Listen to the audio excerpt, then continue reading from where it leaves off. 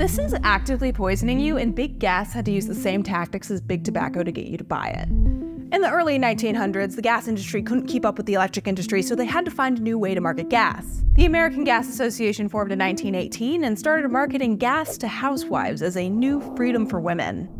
In the 1930s, they created catchy slogans, the most notable being Cooking with Gas, which they planted in popular comedian Bob Hope's radio show.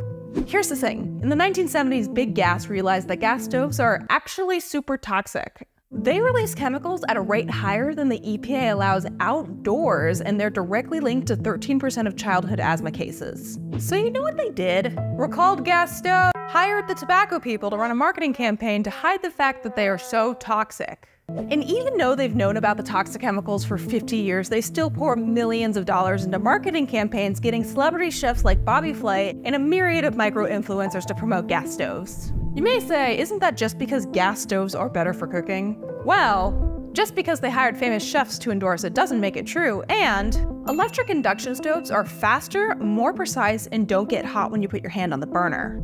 But of course, Big Gas doesn't want you to know this. They'd rather you just breathe in benzene, a chemical linked to leukemia and other blood cancers, as well as a bunch of other respiratory irritants, so that they can make money.